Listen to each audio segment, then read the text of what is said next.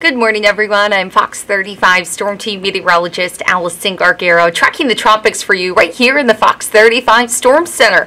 Once again, tropics are very busy. We are monitoring three areas with the potential for further development. The one farthest north on the screen is actually remnants of Franklin, which now have a 20% chance for further development, moving away from the United States, so not something we need to worry about. Then there's two tropical waves, one likely moving off the west coast of Africa, which has a 70% chance for further development. The track's a little bit more north, but it's the one that has a 100% chance of likely becoming tropical depression, then tropical storm a little bit later this week, and actually could become a hurricane by the end of the week. You can see it is the area that is right around that red circle on your screen. It's a large area of disorganized showers and thunderstorms, and our forecast modelings do have Invest 95L, as we're calling it, continue off to to the north northwest and a lot of them are centered in the same direction, meaning it's likely going to be inching closer and closer to the Caribbean by the end of the week.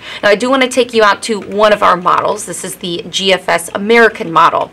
It is going to be that area with the isobars very, very close, meaning we're likely going to be seen strengthening as the system moves off to the northwest and into some very, very warm waters across the Atlantic. So could become a hurricane by this weekend.